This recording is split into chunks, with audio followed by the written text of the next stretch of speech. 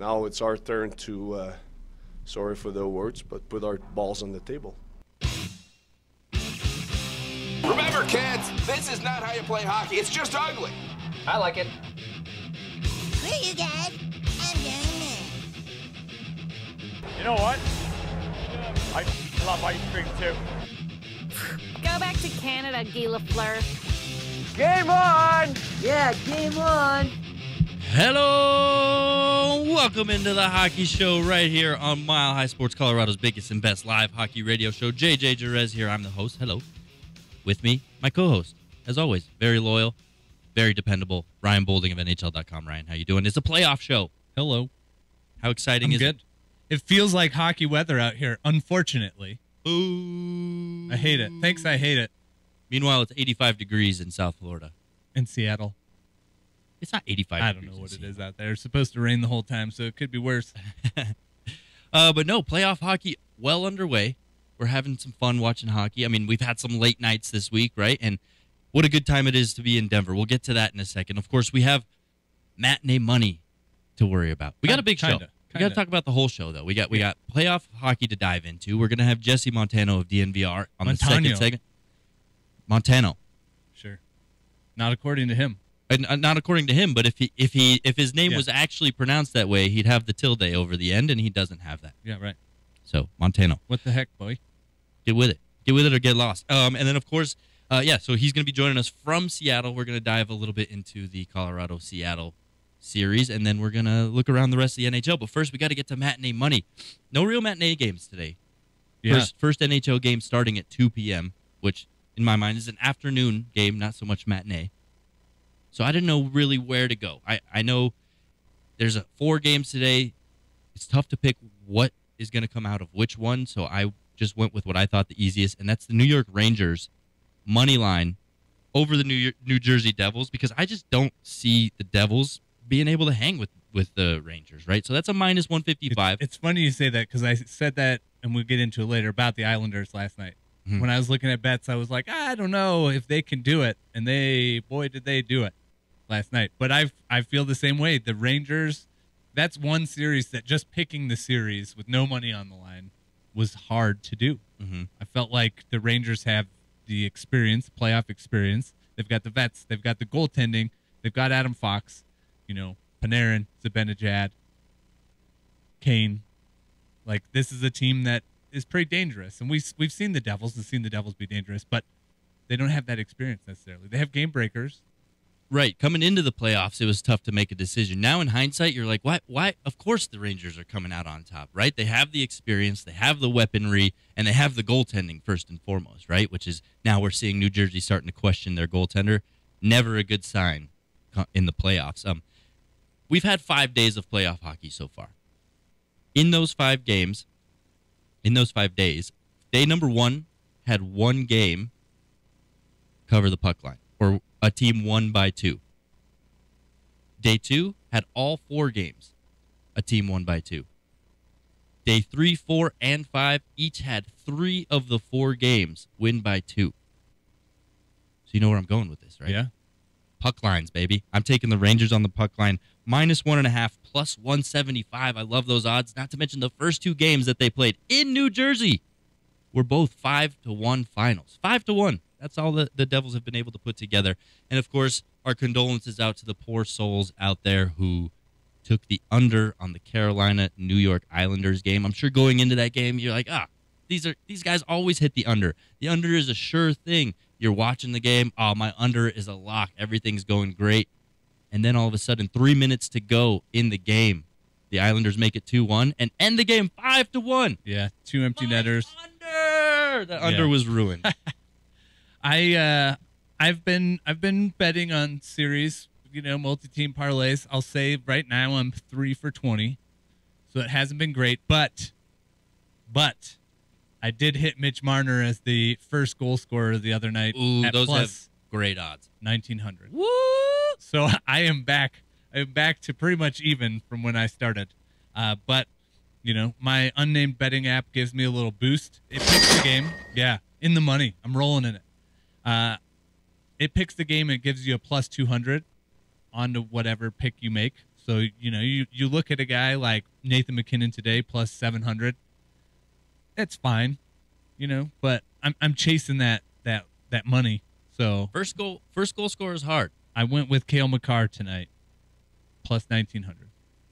I mean, those are plus seventeen hundred for Cale Makar seems low. We know he's hurt, but seems low. Yeah, I I agree. I mean, there's always good player props out there, and especially when it comes around Cale Makar. For instance, his over under on points is 0.5. Yeah. Yeah, the odds aren't great at m- minus 190, but if Cale Makar is in the game, chances are he's getting at least an assist, right? At some It's point. been a little slow going for him. I also took a three pick parlay.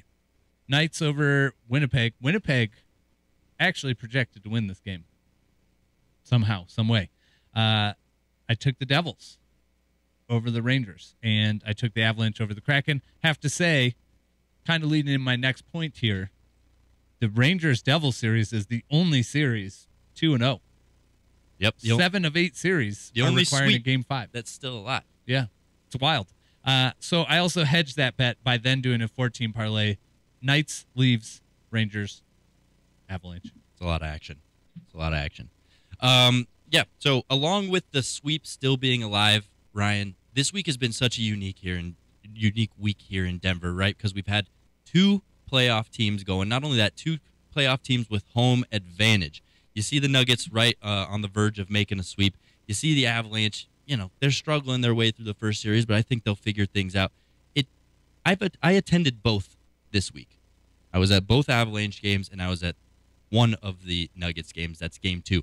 I mean, I'm surprised they don't charge you rent at Ball Arena. I literally spent all week at Ball Arena. My, my yeah, significant other feeling. was exhausted.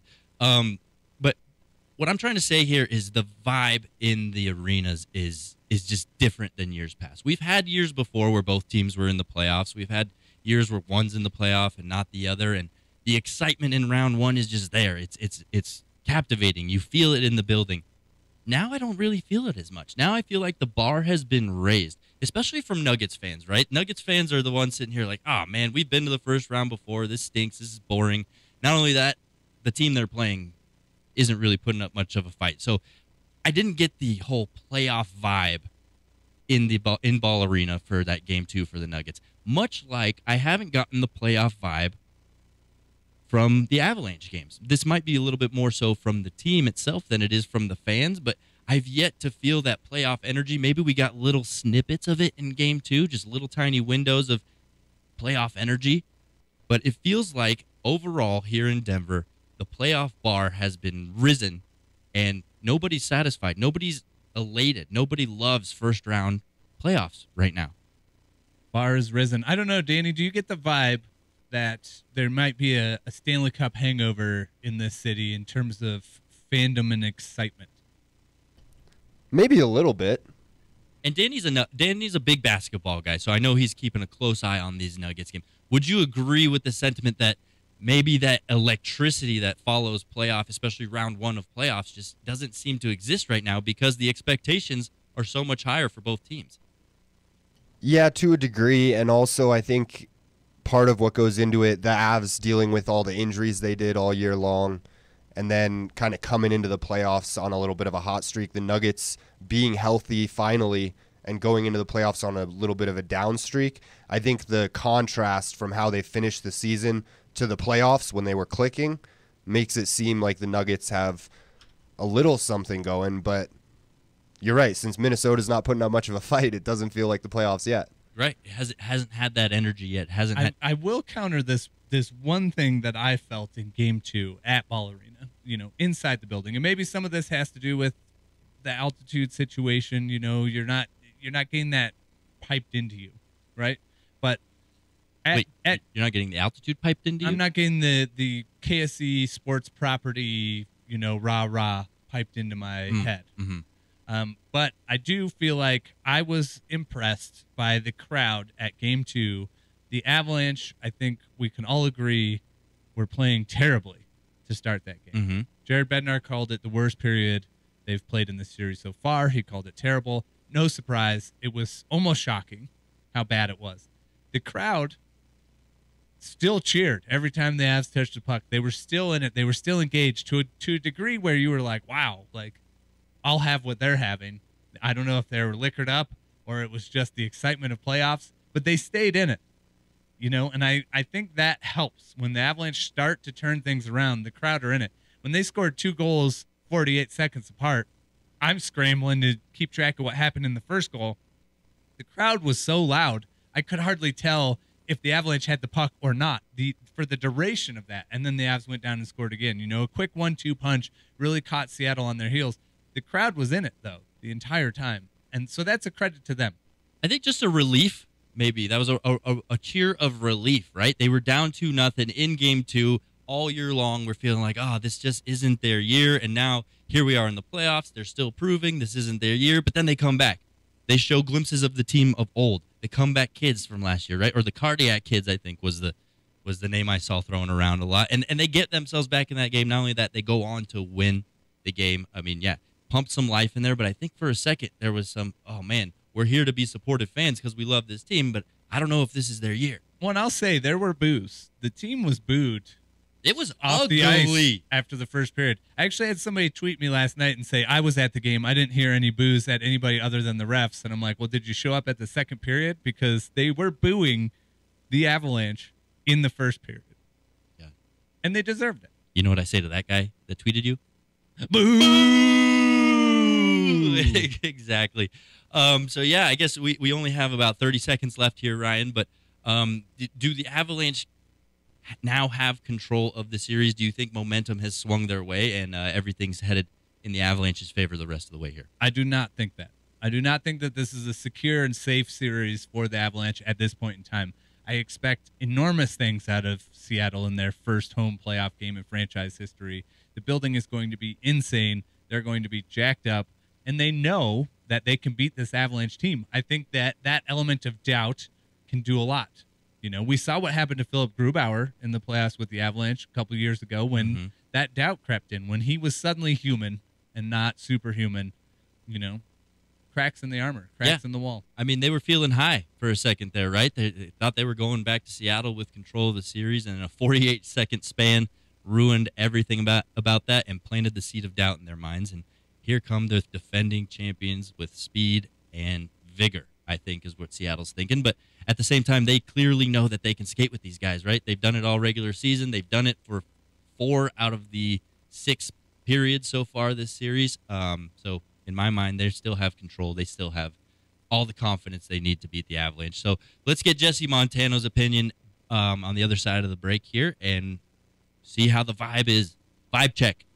Vibe check from Seattle here with uh, Jesse of DNVR. So stick around through the break here on the Hockey Show.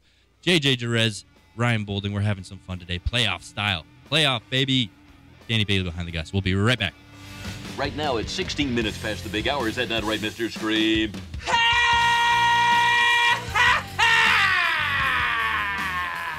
Great, good stuff. I think people are getting really cranked. Welcome back. Colorado's biggest and best live hockey radio show. JJ Jerez, Ryan Boulding. We're heading to the man advantage. Power play one.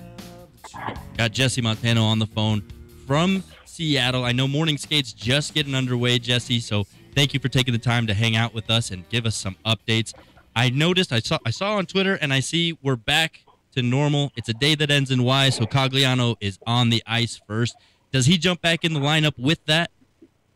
Look at I the think let me let me give you a two-parter here. Look at the Okay. the, the line combination changes that that we saw from game two, and how I guess how it it seemed to have worked. Are you a little bit hesitant to throw in a whole nother mixture when it seems like they found the right recipe?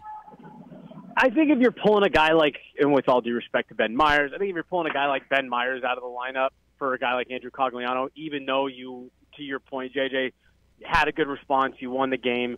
I think that's a, a trade-off you're fine with making. Again, that's nothing against Ben Myers. I don't even think he was necessarily bad in the last game. Andrew Cogliano just brings just a completely different element to the game for them. Uh, just you know, so hard to play against, and, and we know you know he kills penalties, he blocks shots, he does all the stuff that you need guys doing uh, in a playoff series, especially when you're playing against a team the way that Seattle is playing. And, and, and I think you just, uh, you know, I, I think you're fine with making that change, even though, to your point, went well for game two. If you're getting a guy like Cogs back, if he's available, which we won't find out here for sure uh, until uh, probably about another 30 minutes. We talk to Jared. If he's available, I think you plug him back in, uh, you know, over a guy like Ben Myers. We know Gabriel Landeskog's out for the playoffs. He's been out for the season. We don't know when he's coming back. He's on the trip, and he is on the ice for some reason Yep. here in Seattle. What does that do to this team? Just having, I know we've had conversations about what he brings as a presence, but what do you see this doing for this Avalanche team? Just having him out there. Real Reg Dunlop vibes there. Yeah. Well, so it's interesting because through both of the first two games, I mean, like you guys know, you've, you've been in the room. They've talked a lot about the fact that, that Gabe is, you know, very vocal right now during intermissions. Uh, you know, talking to guys in the locker room, talking about what he sees, and I thought it was really interesting how Jared Bednar, uh, after game two, talked about it's nice to have a guy like that who's maybe not as emotionally invested in in the game because he's not actually out there, you know, competing. He's not on the bench. He kind of can have a little bit of a different perspective, maybe see things a little bit more clearly. Um, I, I I think it makes a huge difference, and and you know, him being out here on the ice, obviously, you know, he's not going to play. Um, but I think just seeing him out here brings a little bit more normalcy, and it just helps him stay more engaged with the team and more in tune with how they're feeling, what they're saying, what they're seeing. Uh, I was actually thinking about it walking over to the rink this morning. That was his shot that just hit the glass in front of me. If you guys heard it, I was thinking about it walking over. I said, wouldn't that end up just being this crazy storyline if the Avs are able to go on any kind of run, whether they you know win it again or just are able to go a couple rounds deep? I I just think it's going to be a really interesting storyline that you know injured captain Gabe Landeskog so valuable to this team that purely just his presence, just him being in the locker room, you know, was maybe enough to to will this team through a couple rounds. Um, when he jumped out here this morning, I honestly I was kind of like half paying attention. I thought it was Mikko, but then he you know he he took a shot and I said that wasn't Mikko's follow through, and I looked up and realized it was Gabe. So. Um, interesting to see him out here. Uh, you know, they, they brought him on the trip, so might as well get some reps in, right? But uh, no, I think it's been huge. I think it's been huge having him around, and, and you know, we all talked about them not having him in this playoff run isn't just a detriment on the ice, but it's it's what he brings off the ice. So him being around and, and him just acting as much as he can like one of the guys, I think is um, I, I I don't think it's anything to turn your nose up at. It's funny because last year in the playoffs, we remember he didn't participate in a single morning skate. Maybe this year, without participating in a single game, he's at all the morning skates. And he, I don't know what what's what do you think that vibe is like, Jared Bednar? You know, because that stood out to me too. The the point about he's less emotional. He can bring a different message to the locker room. I'm I'm picturing suddenly Jared Bednar in the locker room being all emotional and riled up and maybe yelling at somebody, and Gabe Landeskog coming to play good cop and saying, "Hey, calm down, Bedsy. I got this. You guys need to calm down." So it, it's funny that this is all a storyline that's that's coming up because I don't think it's that weird, right? I think a captain hanging out in the locker room, yeah, he's going to do that. It's playoffs. He wants to support his team, but we look a little bit deeper, and we know Gabe Landeskog has such a huge presence with this team, and um, you know, almost transcends the team as a whole at times. That it, it's suddenly a story. I, I had no question there. I just wanted to to comment that. So, my question to you, Jesse, after you, I know you got there early yesterday morning. You had some chance to experience Seattle, the city, a little bit. I know here in downtown, you know, you walk Larimer Street, you got the Avalanche jerseys hanging up over the over the road, you got Nuggets banners all over the city. What's that vibe like in Seattle? What's the energy? Is, is there a palpable playoff feel to the city right now? So, you know, not not a ton that I saw. I'll be honest, I, I have a, a great friend that lives here in Seattle, so I was able to spend some time with them yesterday, and we kind of did more of the uh, like outside the city stuff. So today was really kind of my first morning uh, walking through the you know the streets of Seattle here, and you can definitely feel it. There's a lot of you know, I guess Seattle Kraken playoff signage. I don't know the best way to put that, but kind of like what you're talking about there, you know, around Larimer, a lot of banners, a lot of you know businesses that have, uh, you know, whether it be posters of, of players, you know, Matty Beniers or just the logo, uh, the the the playoff slogan I've seen on quite a few places. So you know, I definitely do think there's a, a bit of buzz. Uh, I got to get out of Arif Sway here. Uh, showing up a little late to morning skate. Nice of him to show up. Ask him when he's going to post my story on the website. I'll ask him. Uh, but yeah, you know, so it. I don't. want- I don't want to like put the town of Seattle or you know city of Seattle on blast here. I haven't seen a ton, uh, but again, I, I haven't done a ton of exploring. I'm definitely going to go walk around, find some food and stuff this afternoon. But uh, you know, talking to some of the local media here, uh, old friend Ryan Clark, who now writes national stories for ESPN, like it's an expensive ticket to get in this building tonight. Seattle's a great sports town, and they understand the moment. And they understand that this is the first playoff game, uh, you know, in NHL history play, being played, or I guess not in NHL history, but in, in Kraken history being played here uh, at the arena. There's definitely a buzz. Like people are ready for this game to be going tonight. I'm expecting a pretty, uh, you know, bonkers atmosphere once the game gets going tonight. Um, but yeah, so I'm, I'm I'm anxious to see, you know, to your question, JJ, just how much the city is embracing. So I remember that was something about Vegas that stood out so much to me that first year was just that the city was immediately just die hard, you know, for for everything, and and every uh, every business had stuff in the in the windows and bars, had all kinds of watch parties and all that stuff. So uh, I'm anxious to see what all what all I see because right now I just see a bunch of, like I said, signs and posters and it's What- great, but I, I know there's a ton of passionate fans out here. What is their what is their playoff slogan? Uh, the legend awakens. Still Yeah, I'm better looking at than it on- our way, the hard way, or whatever it is here. Our way or the highway? Wait, something like that.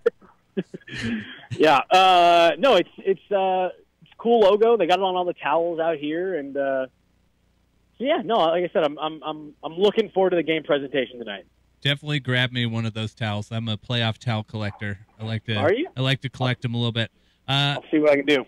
Jesse, I'm kind of going back. I mean, so Jared Bednar yesterday basically said they'd be going optional skates from here on out. You know, whether it's an off day or a day on the ice. So we're not going to get like super good looks at everybody um, and their state. Uh, a lot of that is driven by Bednar himself with some input input from the players. But I, I'm curious, you know, how you've thought certain guys have handled the the first two games. In particular, Darren Helm. I know we talked about Andrew Cogliano, what he brings. It seems like if Darren Helm can stay healthy, he just brings enough of a next level over a guy like Ben Myers that it, it makes a difference to this team. Totally. I, I mean, it was it was funny because that first day, uh, I believe it was morning skate for game one, and we talked to Darren Helm, uh, and you know he just kind of gave like this real like, hey, look, I'm I'm, I'm trying to get ready, I'm trying to push through this, um, and so when he went in for game two, I actually had the thought, I was like, man, does he actually help you there? But then you see him play, and, and to your point, Ryan, it's just like his, his it's just his presence and just him being there, um, and, and his, his experience and just how I don't know if I want to say used to having to ramp up at this time of year he is. But I think when you look at this Avs roster, and it's clearly nowhere near as deep as it was last year, you, you need guys like that. Uh, you know, you, you need guys like Darren Helm who aren't going to be overwhelmed by the moment. Uh, you know, who, who are comfortable in these games when, when the checking gets a little bit tight, the pace picks up a little bit. And that's part of the reason why, going back to the very first question about Andrew Cogliano, why I think plugging him back in on a night like tonight, even if he's not quite at 100%, I think it makes sense, and I think it's the right move because you need that experience. When you don't have as deep of a team as you did last year, playing against a team that's got great depth, you need guys like that to be able to contribute in any way they can uh, in the bottom six. So we saw Darren Helm getting loose this morning. Uh, he's out here on the ice. I'm expecting him to go again tonight. Uh, I I have a feeling that we're going to see a, a reuniting of the line last year, the fourth line last year that was so good for the Avs of Cogliano, Helm, O'Connor. Uh, and I and I think that's something that uh, Jared Bednar is, is gonna. That's his safety blanket, right? He likes going to that line. He knows he can trust them, uh, and I think he's anxious to get uh, all three of those guys back put together. I'm going to change gears here just a little. Just turn the turn the the volume knob just a little bit here to what we saw in game 1 in the first period of game 2. How concerning is that in in regards to the overall state of this team in this postseason? Like that's it's kind of uncharacteristic. I thought in particular the first period of game 2 was uncharacteristically bad hockey. Look, you, you would never get these guys to admit this, and, and they would maybe even be offended at the notion of it. But you just won't convince me that through those first four periods of hockey, I think Seattle caught these guys off guard. I, I think that they were maybe expecting Seattle to, you know, have just so much respect for them that they were going to kind of, hey, we're just happy to be here, you know, kind of roll over. Uh, you know, it's fun to be involved in some playoff games.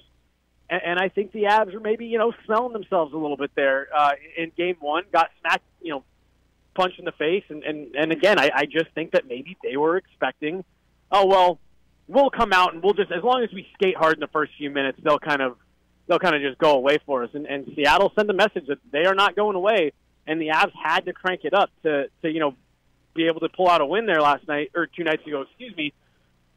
I think those first two games were a bit of a wake up call for them. I, I'm expecting a much better game tonight. You know, I, I haven't had necessarily a huge issue with the effort for the Avs. I think they've skated hard, but through those first four periods, it was just it was just bad hockey. Like it was just ugly, sloppy, bad decision making, and, and like I said, I, I think that they were maybe expecting something a little bit easier uh, coming out of the gate, and when they didn't get that, they they didn't look prepared for it.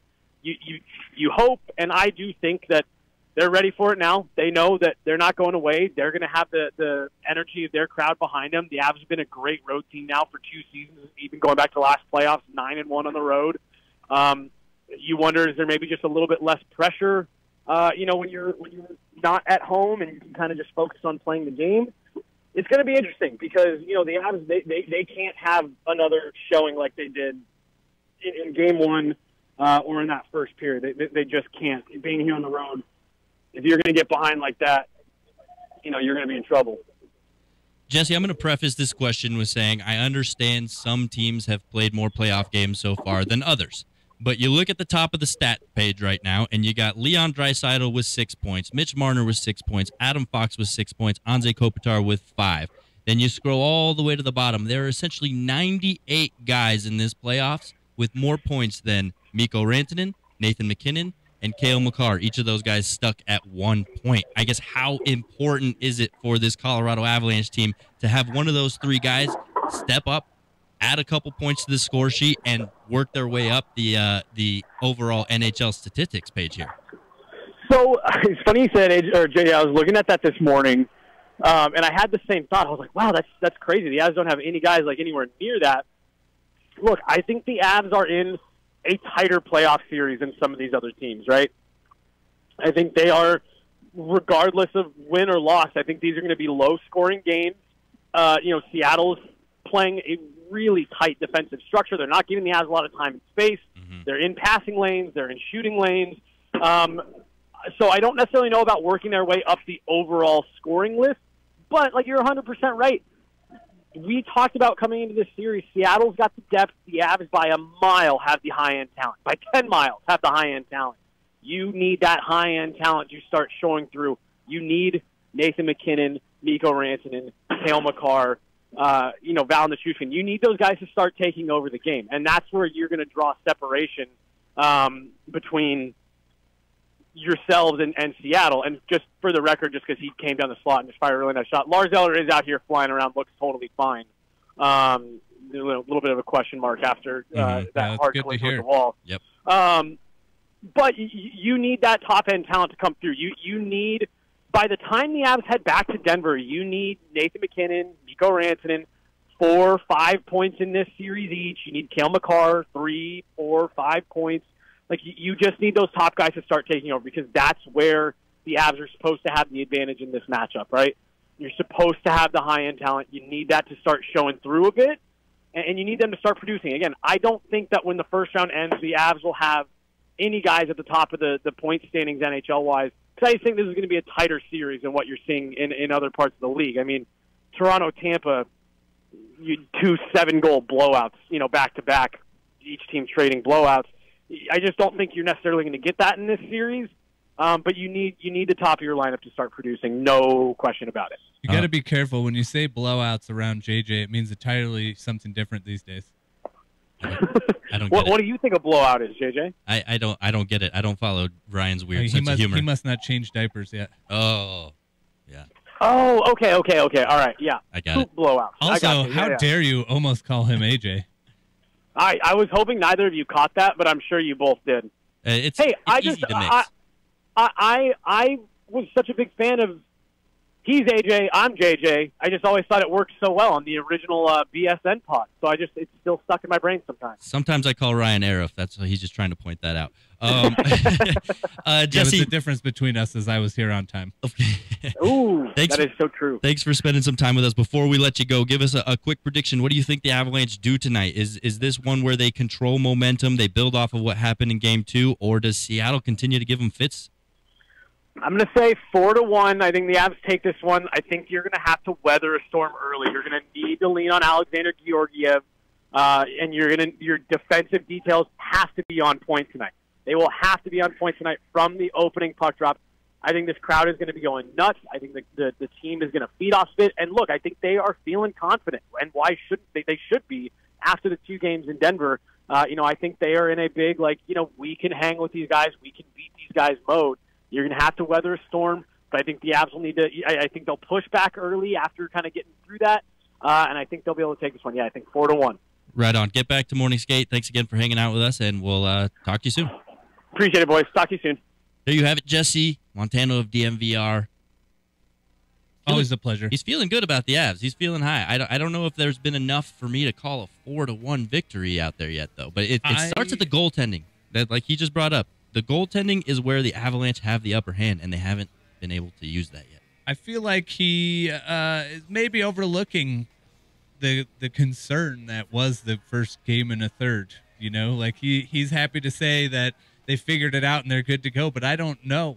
You know, if if that is a if consistency is an issue, which it has been at points this season, I'm less confident. I love that. Thanks for joining the hockey show. You're wrong though, Jesse. Yeah. No, he made a lot of good points. Oh, all right. Well, that'll do it. Uh, we'll be right back. We're going to break into uh, the rest of the league and all the other playoff series going around because there are seven other ones going on at Ryan. So stick through the break. This is the Hockey Show. JJ Jerez, Ryan Boulding, Danny Bailey, Mile High Sports. Let's go, Colorado! Welcome back. This is the Hockey Show. Danny's got snow on the mind.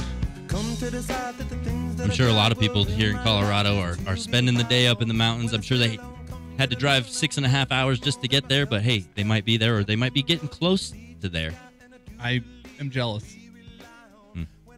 I'm jealous of everybody on the beach in Miami right now because it's 85 degrees over there. Here we are in the snowy weather. Um, Ryan, That's me. have you ever done karaoke? Uh, yeah. I like to do Red Hot Chili Pepper songs because I feel like I have the same key as the the Chili Pepper song. And there's so much gibberish going on that if you mess up the words, no one knows. Yeah, Yeah. I guess. I don't know. Um, so I want to look at the rest of the league here, and of course, we only have 12 minutes per segment, so we got to jam pack all seven other series into this segment. So I'm, I'm, I got my stopwatch out here. We're gonna spend two minutes on each series, so that way we don't drive Danny Bailey cra- crazy, and he doesn't give me this the death stare of you guys need to get to break now. Just kidding. He doesn't do that. He's chill. He's a cool guy. Um, so let's get it going, Ryan. Actually, Danny, can you even hit us with maybe some background tunes on this one, almost like a game show feel to it? You're just springing it on him. I know, in the I know, just throwing Yeah. it on, but he's on his Like toes. That's what makes him the The, greatest Jeopard- producer. the Jeopardy song. Where this is eating into our 12 minutes. It doesn't need to be Jeopardy. I just want some some some tunes in the back. Um, so we'll wait with radio silence until he gets that. Go. Oh, he's he's on top of it. There Here we we go. go. Yeah. Ooh, I like this vibe too. Welcome into the hockey shows. Hockey look around on the NHL playoffs 2023. Ryan Boulding, the New York Rangers and New Jersey Devils. We talked about a little bit at the beginning of the show, but Rangers up to nothing, heading back to MSG today. I know I said this was maybe the hardest series for me to pick. It definitely was in the East. I'd say also Minnesota and Dallas in the West. Hard series to pick, right? These two teams match up pretty well. A lot of hatred historically. You love to see it. I'm sure it's awesome to be a fan and a part of this. But I think that the Rangers have the edge in the talent, the veteran talent. JJ hasn't even started his timer yet on this first question. And I think the goaltending in New York is far better. In fact, I think Vanecek is a good goalie, right? I'm saying it. I can't believe Washington got rid of him. He's had a great year for New Jersey. He's out. Akira Schmid might be the starter tonight. Hit the streets. I, I don't know what to think about that, but I think I trust in Lindy Ruff. I remember uh, early on in the season, I came on this show and I said, "Man, the Devils have a great backup goaltender. I don't know his first name, but his last name's Schmid. Akira Schmid is is a quality goaltender as well. Does he match up to Shesterkin? Absolutely not. You have goalie controversy in the playoffs. You're a disaster. Rangers are taking it tonight. Here's a side note. I talked to Keith Kinkaid yesterday. He backed up as the third goalie for the Rangers when they went to the Eastern Conference Final last year.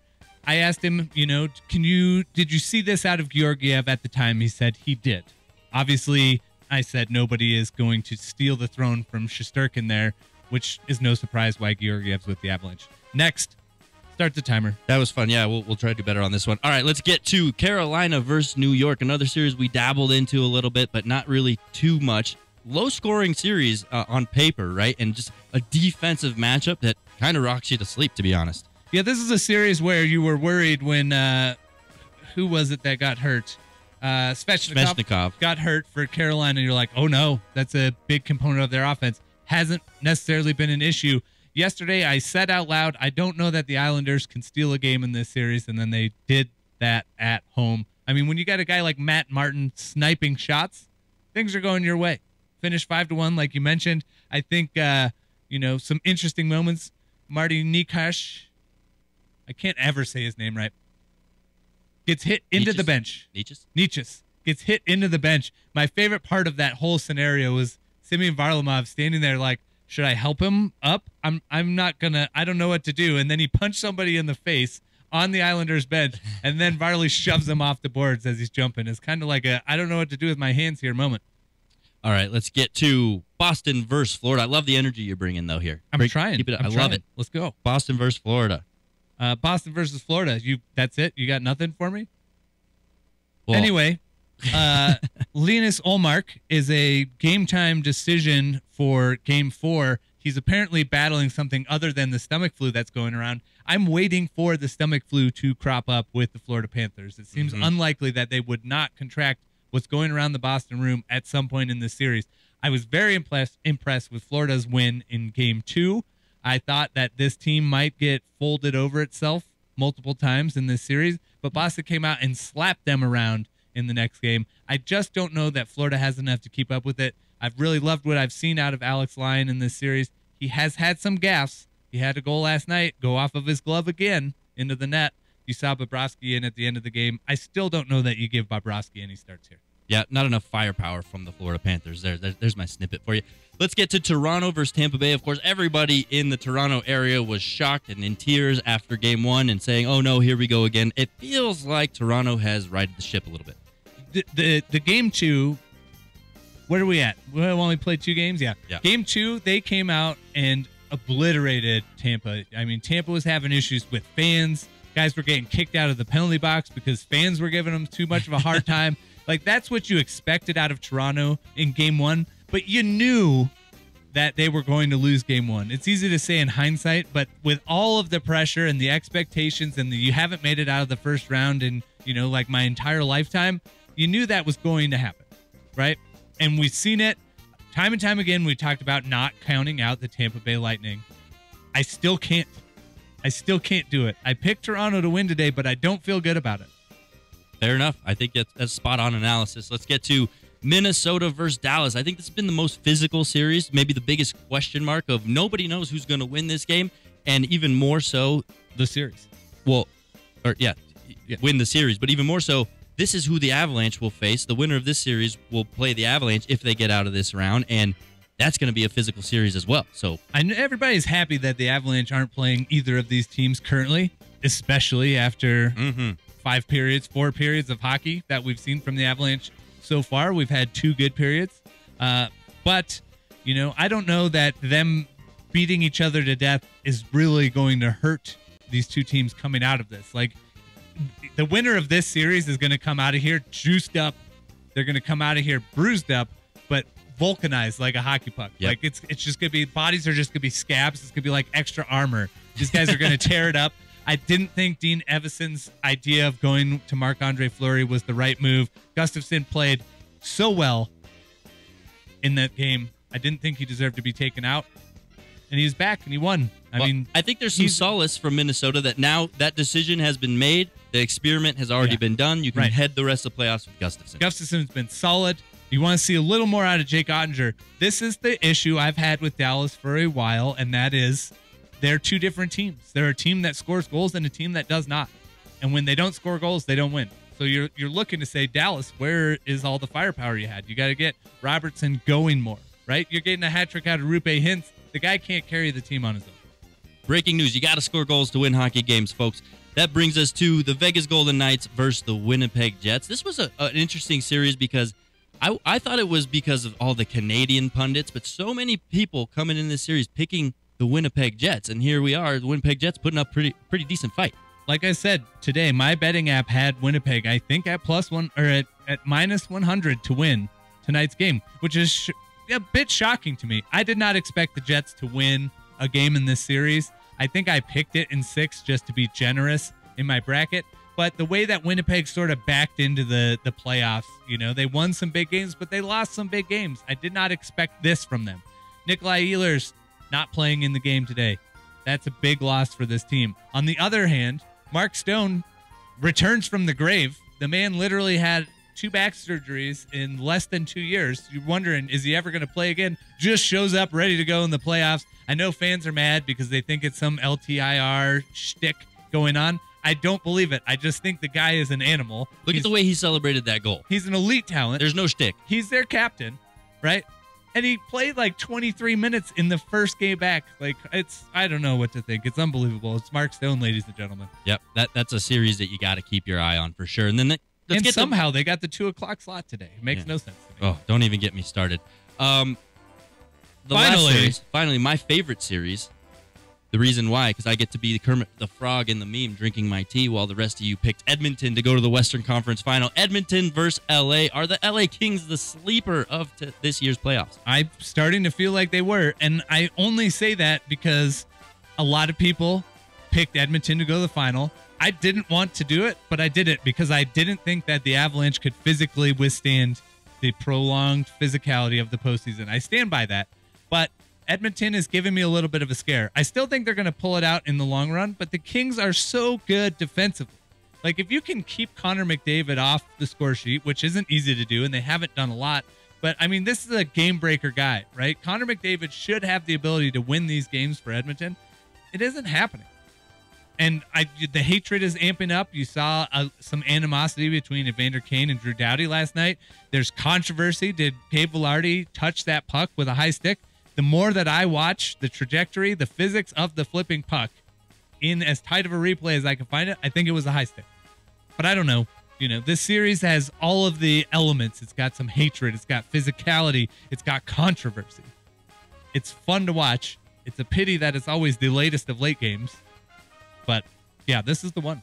LA has one thing to do to win this series, and that's stay out of the box. Edmonton scored four power play goals already in the three games this year, and that's pretty much all Connor McDavid has been able to, uh, to contribute is power play I mean, points. LA LA scored 10 15 seconds into a power play last night too. I mean, yeah, you don't want to one thing you really don't want to do is take any 4 on 4 opportunities. When this team has Draisaitl and McDavid out there together 4 on 4, there's too much ice. These guys are magic. They're wizards. There you have it. They're wizards, Harry. Take a deep breath now. We did it. We made it. Crushed it. Way to go. Loved the energy. We did everything on time, and we got through every single series. There's not one stone we left unturned here on the hockey show as we head into break. So, um, yeah, it's a fun show. Fun show we're having today. Playoff There's energy. Still We're bringing it. Oh, some we time we forgot in the, the cup. hockey We forgot to put the Stanley Oh, Cup man. in between us like we normally do for Dang But we'll be back for the mixed bag skate. Ah. Get over a couple uh, more topics. Little. I'm a dumbass. Oh, this hurts. Uh, all right. This is the hockey show. JJ Jerez, Ryan Boulding, Danny Bailey. We'll be right back. I play hockey and I fornicate because are the two most fun things in cold weather. Ooh, boy, do we have cold weather here today. Hopefully, you're doing one of those two things. Just keep yourself warm and entertained, I guess. Because you're not golfing. You might be stuck in traffic driving to the mountains. So, can't play hockey doing that. You got you got to make up your mind here. But welcome to the Mixed Bag Skate. This is the hockey show. This is the last section of the show where, if I was a listener, I'd probably tune out at this point. I, after all the energy I brought in the last segment, That's true. You're like, they, they got to finish strong, right? they're like, I'm going to keep Right? watching just to see if he passes out and dies. His heart just explodes. I think the conversation and the happening in the NHL playoffs that caught the eye of everyone, not just hockey fans, but sports fans all around, was Morgan Barron of the Winnipeg Jets catching a skate to the face and receiving 75 stitches. But wait, it doesn't stop there. The crazy MF returned to the game, just slapped a cage on and said, I'm finishing this playoff game. I don't care how many stitches I got in my face. Amazing stuff. I mean, just thoughts, feelings. It, it feels like every year this is the time where that tired meme comes out of insert X hockey player injury and insert LeBron James holding his leg down on the ground. And it's like, hockey players, they literally died and then came back and finished their shift. And basketball players just looked at it and were like, load management, I need a night off. and it was funny 10 years ago. 10 years ago. It's not funny anymore. It's tired, but impressive. Morgan Barron, I mean, it wasn't like a skate like slice. Like I'm cutting fruit here. It wasn't one of those. It wasn't like the cut that cut Gabriel Landeskog's leg. You know, he fell face first onto a skate. It's like it's like I don't know a horror movie, right? Where somebody's like knife is coming at somebody's eye or something. He had to watch his face come down on the goalie skate, and it just cut his face. I remember being at the game where Taylor Hall got hit behind the Avalanche net and cut Ryan O'Byrne's cheek, and his cheek was like flapping, and it was a PK, and he stayed out for the entire PK, and I was club level behind the net, and you could see him bleeding all over the ice. That's how much he was bleeding. You could see it the entire time he was out there. I think he ended up with like 90 stitches. It's crazy. I know this is going to rattle hockey purists out there, and I'm one of them. But you know what could have completely prevented that whole scenario? Rollerblades. The freaking cage that he put on after the injury. Maybe if you put it on before the injury, boo, you don't have to get 75 stitches. But hey, that's just my opinion. I know pro players are never going to get on board with cages. You, you never know completely, but the NHL has mandated visors, and there are, I believe, four players who are grandfathered into that who don't have to wear them. Jamie Benn is one, Ryan O'Reilly is another. I have no idea on the other two,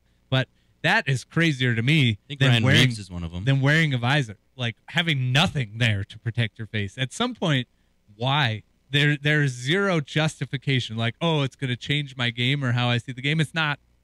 You know what will change the, the way you see a game? A skate to the eyeball. Yeah, no eyes will change how you see hockey. Also, players are just so set in their ways with their gear. Like you look around the Avalanche locker room, there is the gnarliest, grossest, shaggiest stuff hanging from people's stalls. I Did you had no idea until this year I started paying attention. Of course, the the pros go through gloves and sticks and helmets, but the undergear, they you could tell some of those guys have had it for years. That some of them have companies that don't even exist in the hockey world anymore. You see, I think Erik Johnson's shoulder pads are Reebok. Reebok doesn't make hockey equipment anymore. My favorite is Had Connor, Connor. McDavid's socks. There's a picture that I think the NHL posted of Connor McDavid's socks. They're cut-proof socks. They have holes in them. His big toes like sticking out of them. He just keeps wearing them. Why? I'm sure he'd be just as good of a player in fresh socks. And those are the first guys to be like, "I'm not superstitious." And you're like, "Yeah." Well, then why are you using your socks from uh, Cooper, 1983? Cooper was my first hockey stick brand. You, you, you cut deep with that one. Will Ferrell attends yesterday's LA Kings game. Of course, it was in LA.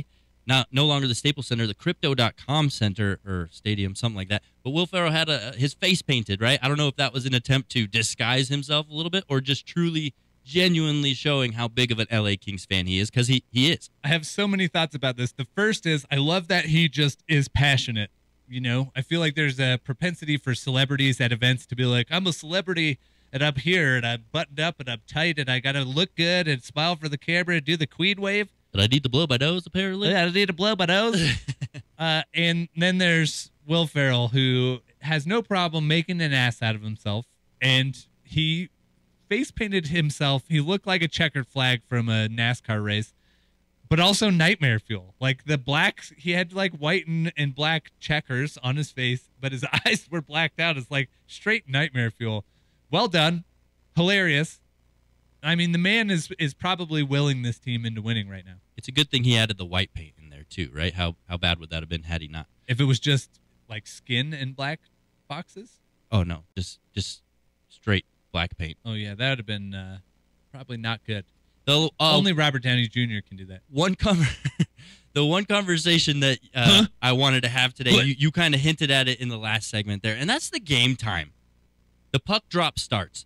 They're absolutely absurd, especially in game one, where we're sitting here in Colorado for a- an eight o'clock puck drop. Meanwhile, Las Vegas has a 7:30 puck drop our time, which is 6:30 Las Vegas time. So everybody in the entire playoffs gets to have a decent puck time, puck drop time at one point or another, except for your Colorado Avalanche. Well, you know, poop rolls downhill, and the time zones run east to west.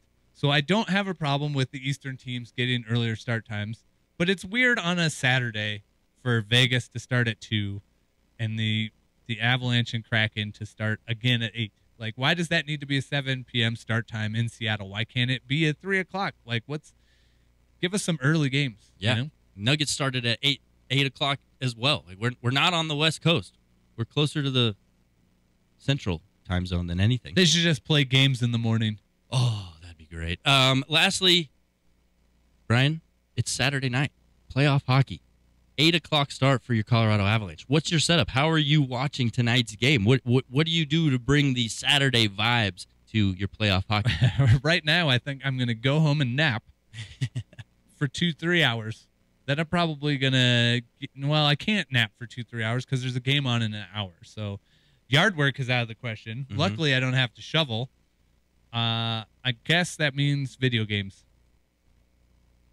Not original at all. That's all you ever do. What What are you going to do? Uh, yeah, that's what I thought.